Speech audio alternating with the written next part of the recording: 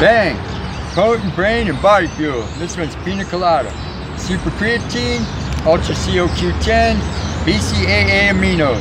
Right, this is an energy drink. All right, we're gonna give it a try right now.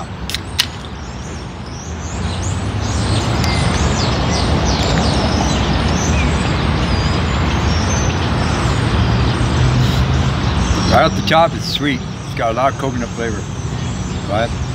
The numbers are uh, zero calories, zero for fat, total fat zero, cholesterol zero, sodium 40 milligrams. That's extremely good.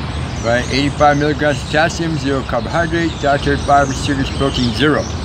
Right? So this this is not to make you fat. It's not to you know screw you up screw up your day.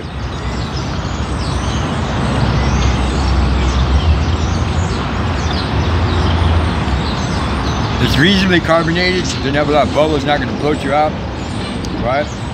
It's not too bad, it's actually pretty good. Probably, you know, a couple, two, three bucks down at the local convenience store, right?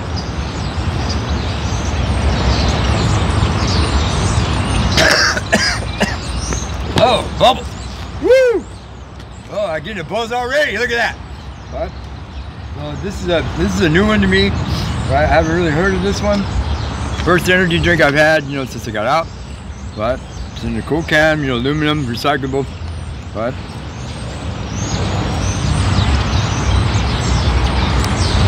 not bad. It actually tastes like a pina colada.